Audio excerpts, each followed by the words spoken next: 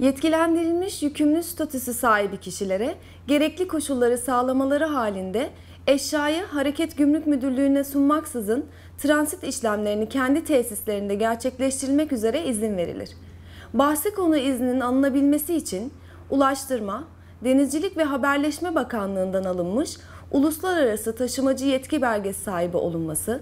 kapsamlı teminat ve teminattan vazgeçme sertifikası sahibi olunması ve bir yıl içerisinde en az 500 transit beyannamesi kapsamında eşya transit edilmiş olması veya en az 500 özet beyan kapsamında işlem yapılmış olması veya toplam 500 transit beyanı ve özet beyan kapsamında işlem yapılmış olması gerekmektedir.